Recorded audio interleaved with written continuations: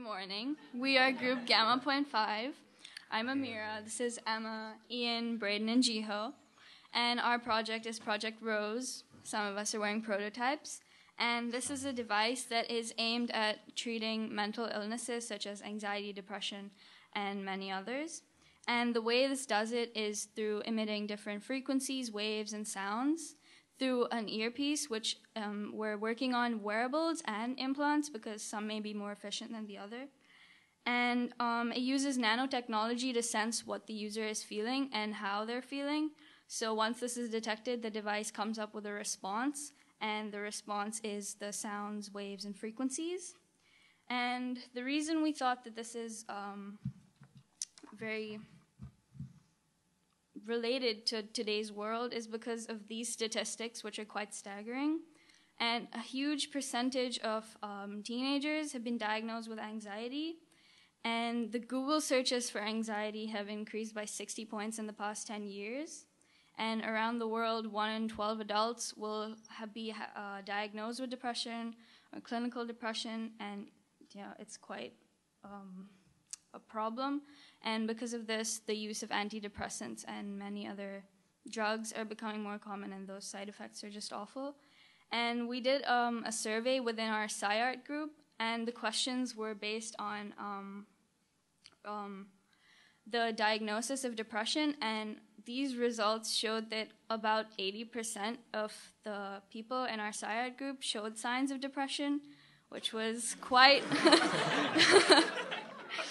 was quite interesting. And this just shows that depression isn't just in the one single form of sadness and just being antisocial. It shows that there's many different forms that it can be diagnosed in. And now, on a more lighter note, how our product works.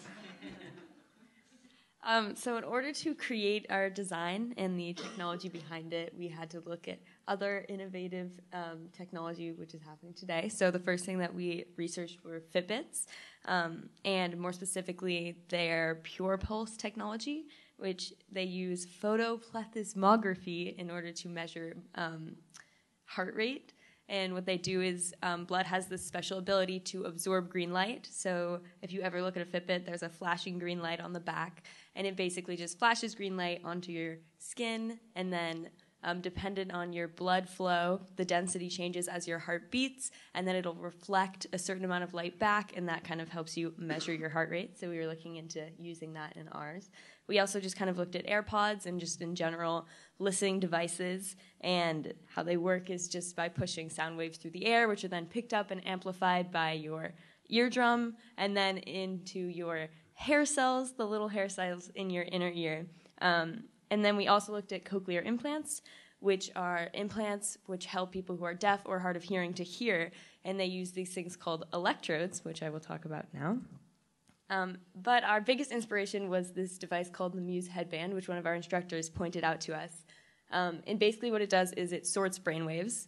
And for those of you who don't know, brainwaves are the synchronized electrical activity of neurons. Um, and so what the Muse headband does is it sorts them into like five nifty categories and it amplifies and analyzes your brainwaves um, by using these things called electrodes, which are also used in cochlear implants.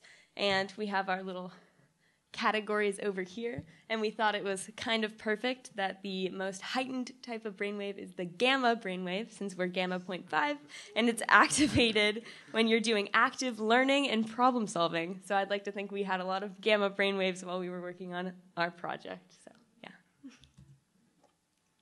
Hello. So for our project proposal, uh, we plan to create like an implant or a wearable, depending on the user's preference that uses the heart rate detection through photoplethysmography and brainwave analysis through electrodes to detect when a user is overly anxious or stressed. Uh, it then emits specific sound wave vibrations into the ear and it stimulates nerves in the brain, which will help calm the user. Uh, and we plan to have it customizable uh, and analyzed through applications on smartphones or through a device accessory.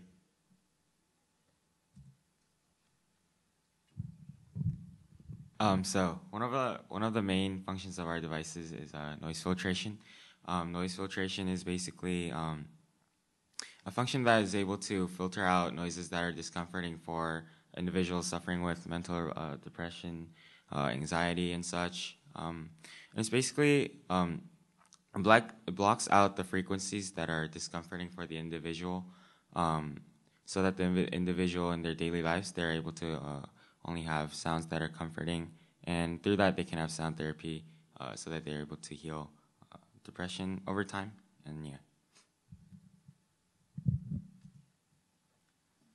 So we made a little bit of a promo for our product, and so the song that you're gonna hear in it was made by Amira, and what it uses, we discovered that there are certain sounds that correlate to calmness and induce that.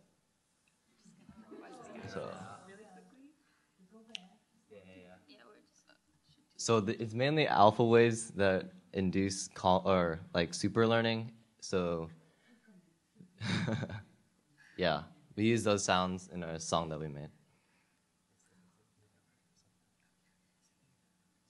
Two seconds.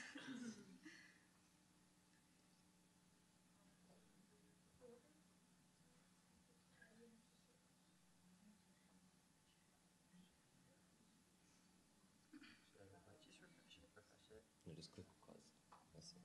Don't go refresh it. it should start. I, I think we'll go. If you go back, I think we'll go. Yeah. yeah.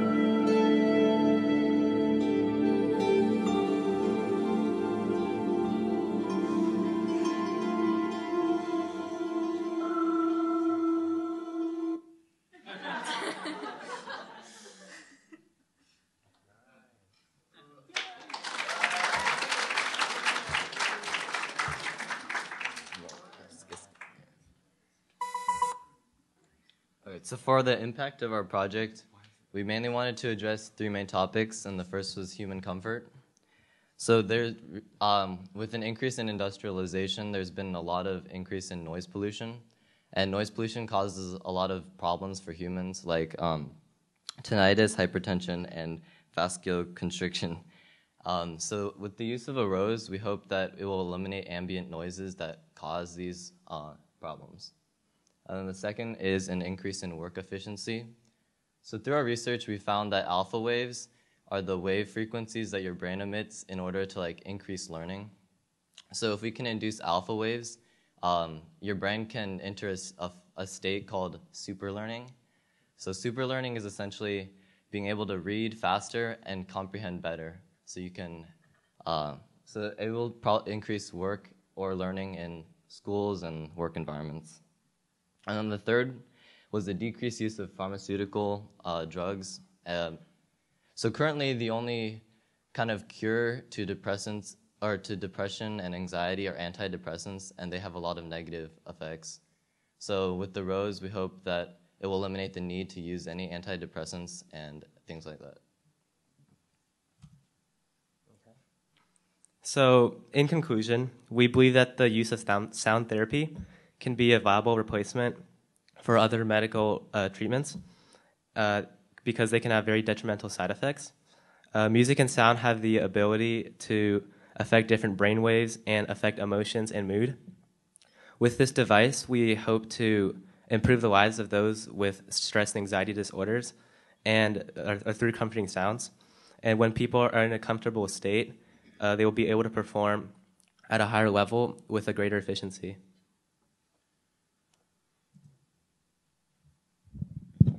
Okay, so these are some of the um, more of a reflection uh, reflection questions we came up with. Um, first one is is it safe? So we always put safety first, and um, you know, in the past throughout history, a lot of artificial products like they were uh, some of them were harmful to the human body, and we always like consider if this device will be uh, not only affecting like our brain and like depression, but other parts of our body too. Um, so if this actually becomes like into reality, we are going to uh, probably have to test before releasing to the rele- releasing this product to the public. Um, second, uh, second question was how much will it cost? Um, we're all very aware that not a lot of people or not everyone can afford like this sort of device around the world. Even like the Fitbits we researched, they're around 100 bucks, which is quite a lot for some people around the world. And um, we were, th- uh, or I was thinking of turning this product into like a government product so that the government may be able to pay for like those who are uh, not as privileged or something like that. But that's also something we have to consider and figure out uh, before rele- releasing this pro- product to the public. And our last question was: Is this product and our music actually accurate, and does it actually work? Um, so through our research, uh, it is theoretically possible, and it's theoretically like it works.